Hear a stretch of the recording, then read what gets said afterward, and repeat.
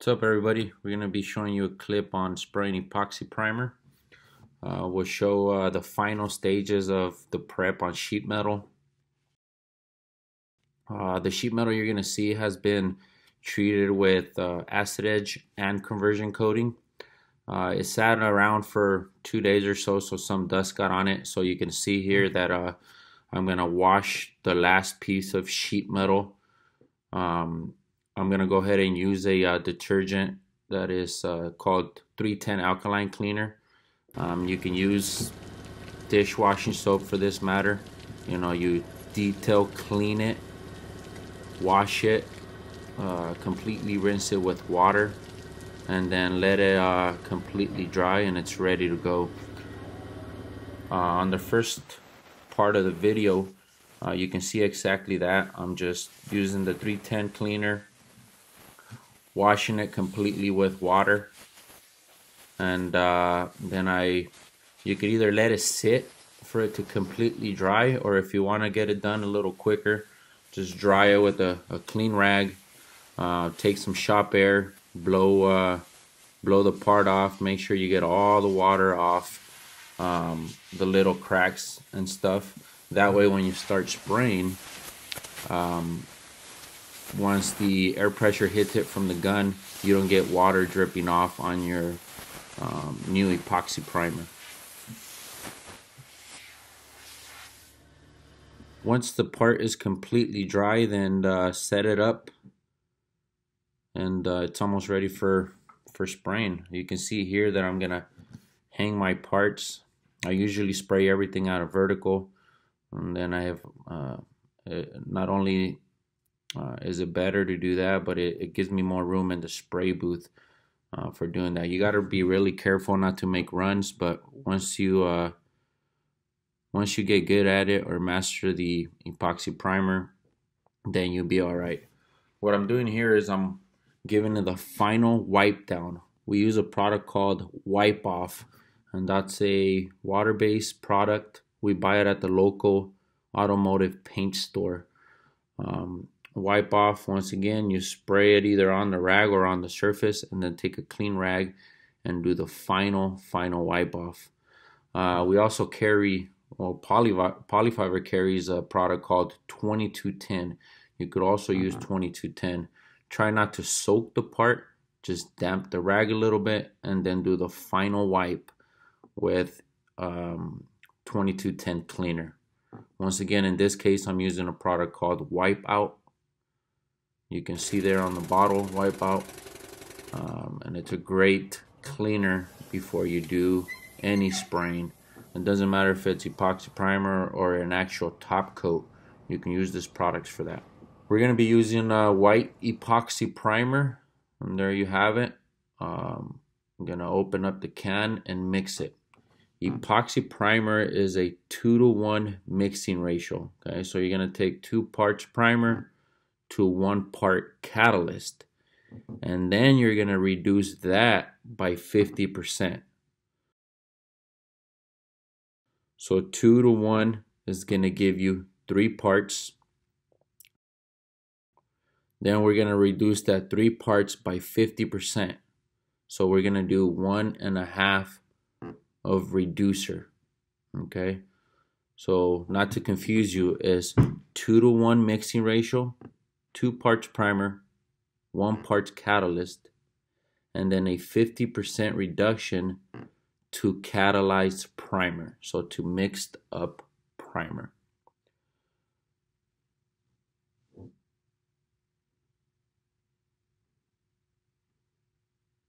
I'm using a uh, a mixing cup there to get my ratios exact um, as good as possible. You're gonna do two to one, and then 50% reducer. As you can see, I'm pouring it into a gallon can because I'm, I'm spraying a lot of parts, so I'm mixing a lot more than just one mixing cup. Once you have the primer mixed in, um, after you mix the primer, you need to let it sit for about 20 minutes for induction time to let the catalyst do its thing. Uh, set up your gun uh, and, uh, and get ready to spray you can see there I'm, I'm loading the the cup that the gun attaches to. We use a, uh, a liner basically made by 3M. Uh, it's just a little plastic um, cup or a liner that goes into a plastic cup. Um, it works great. That little liner uh, gets pressurized, so if you have to shoot upside down, um, you can. So that's what we use. Some setups are just straight metal cups. That's okay. Uh, the reason why we use these liners once again is to be able to spray upside down because it pressurizes. So we're all set up, ready to go. Now you just play with uh, your gun, get the right setup, right air pressure and volume coming out the gun, and it's time to get to work.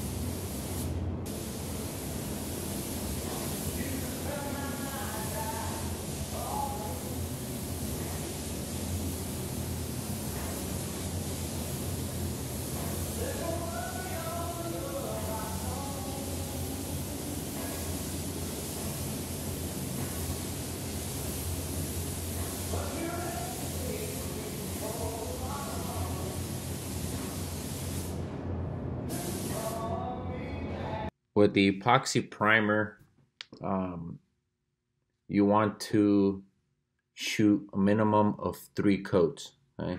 The first coat's always um, kind of light.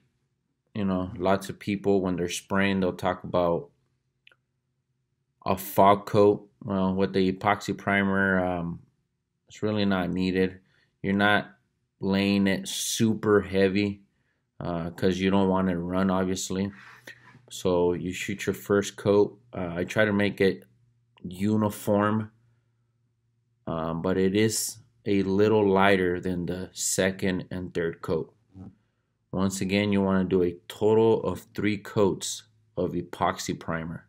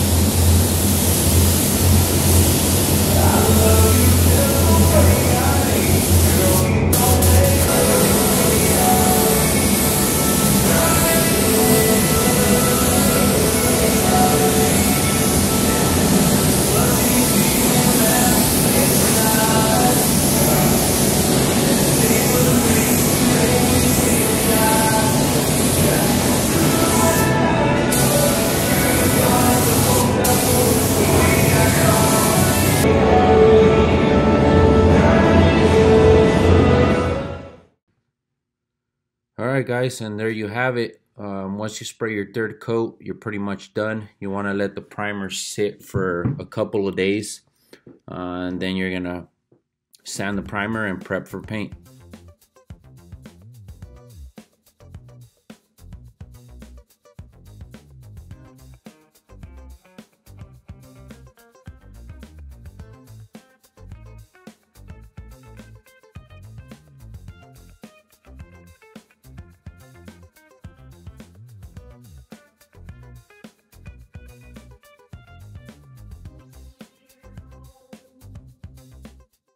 That's it for this video. I hope you really enjoyed it. Make sure you like and subscribe to our YouTube channel.